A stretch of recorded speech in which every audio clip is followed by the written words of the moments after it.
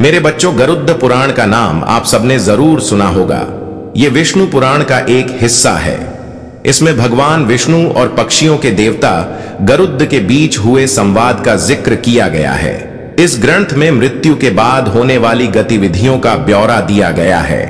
जैसे, मरने के बाद क्या क्या होता है और कर्मों के कैसे फल और कैसी सजा मिलती है। स्वर्ग और नर्क का सिद्धांत भी इसी ग्रंथ में दिया गया है। इस ग्रंथ का एक भाग पूर्ण रूप से कर्मों के लिए दी जाने वाली सजाओं पर आधारित है। आइए आपको बताते हैं इसमें दी गई सबसे भयावह साओं के बारे में। लेकिन बेटा, पहले कमेंट में हर हर महादेव लिखकर उनका आशीर्वाद प्राप्त कर लो ताकि आपके जीवन का कल्याण हो जाए। तमिश्रम। ऐसा कहा जाता है कि जो लोग दूसरों के पैसे लूटते हैं, उन्हें यमदूत रस्सी से बांधकर नरक में मारते हैं। अगर वो बेहोश हो जाते हैं तो उनके होश में आने के बाद फिर उन्हें पीटा जाता है। अंधतम त्रिसम। गरुड़ पुराण के अनुसार नर्क का यह हिस्सा उन पति या पत्नियों के लिए होता है, जो अपने पति या पत्नी के साथ तब तक ही रहते हैं, जब तक उनके पास पैसा और खुशी रहती है। इसमें भी तमिश्रम जैसी सजा देने का प्रावधान है। रौरावम, ये सजा उन पापियों के लिए है जो दूसरों की दौलत पर ऐश करते हैं और उनकी खुशियाँ छीन लेते हैं। ऐसे पापियों को सांपों से भरे हुए एक कुएँ में धकेल दिया जाता है।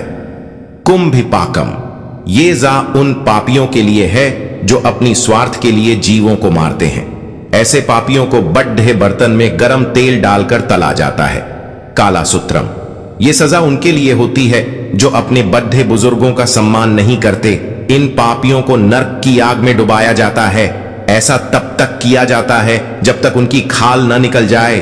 असिता पत्रम, ये सजा उनके लिए है जो अपने काम को सही से नहीं करते और उनकी लापरवाही से किसी और को भुगतना पड़ता है। ऐसे लोगों के शरीर को नुकीले धार वाले चाकू से गोद दिया जाता है और फिर कोड़े बरसाए जाते हैं। अंधकूपम। ये उन लोगों के लिए होता है जो बुरे स्वभाव के होते हैं और उनको अच्छे लोगों को परेशान करने और सताने में बहुत मज़ा आता है। इसमें पापियों को ऐसे कुएँ में डाल दिया जाता है, जिसमें कई खतरनाक जानवर और सांप होते हैं। तप्त मूर्ति। जो लोग सोने या अन्य किसी धातु को चुराते हैं, उन्हें नरक की गर्म आग में ज़िंदा जला दिया जाता है। क्रीमी भोजनम। ऐसे लोग जो दूसरों को बस स्वार्थ के लिए इस्तेमाल करते हैं, उन्हें यह खौफनाक सजा दी जाती है। ऐसे लोगों को नरक में कीड़े और सरी सिर्फ़ ज़िंदा ही खा जाते हैं। सलमाली। ऐसे लोग जो अपने पति या पत्नी के अलावा किसी और के साथ शारीरिक संबंध बनाते हैं, नर्क में उनके अंगों में जलता हुआ गर्म लोहा डाल दिया जाता है और यमदूत बुरी तरह पीटते हैं। वैतरणी। ऐसे शासक जिन्होंने अपने पद का गलत उपयोग किया है उन्हें इस नदी से होकर गुजरना पड्डेचता है। ऐसा माना जाता है कि यह सबसे खतरनाक सजा है। इस वैतरणी नदी में मानव शरीर, उनकी खोपधियाँ कंकाल और खून और कई गंदी चीज़ें पड़ी रहती हैं। इसमें लोगों को ये सारी चीज़ें खानी भी पढ़ती हैं। पुयोदुकम, ऐसे मर्द जिन्होंने महिलाओं के साथ संभोग किया हो और उन्हें धोखा देकर छोड़ दिया हो, उन्हें नर्क में जानवर समझा जाता है और मलमूत्र भरे इस कुएँ में डाल दिया जाता है। अविची ये नर्क उनके लिए है, जिन्होंने झूठी कसम खाई हो या झूठी गवाही दी हो। उन लोगों के शरीर में आग लगाकर ऊंचाई से फेंक दिया जाता है। वो लोग सतह पर पहुँचने से पहले ही राख हो जाते हैं। राक्षसो भोजनम।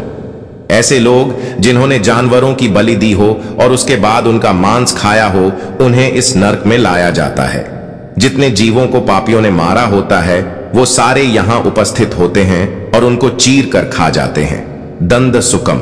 जो लोग जीवों के मांस का और उनके शरीर का व्यापार करते हैं, उन्हें यहाँ लाया जाता है, और कुछ राक्षसी जीव उन्हें ज़िंदा खा जाते हैं।